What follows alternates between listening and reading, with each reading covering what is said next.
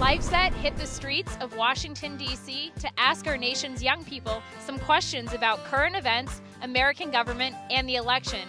We think you'll be surprised at some of the answers. So, do you know what the Second Amendment is? terrible. Free speech? Oh, wow, that's embarrassing. I've definitely learned this, so that's sad. I want to say it's the.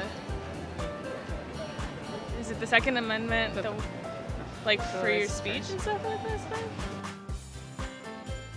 I don't know. Uh, no idea. Second Amendment, um, the guns. Like Freedom of speech? Yeah. Isn't that part of the Bill of Rights? Isn't that one thing?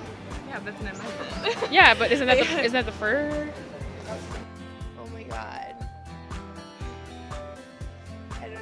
Freedom of speech. Do you know what the First Amendment is?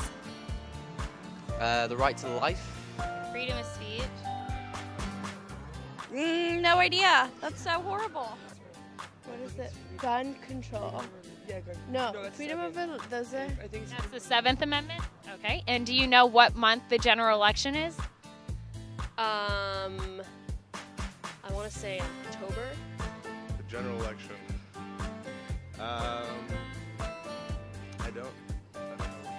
Um, No, December, no. December. No. December. November. November. The third. The third one.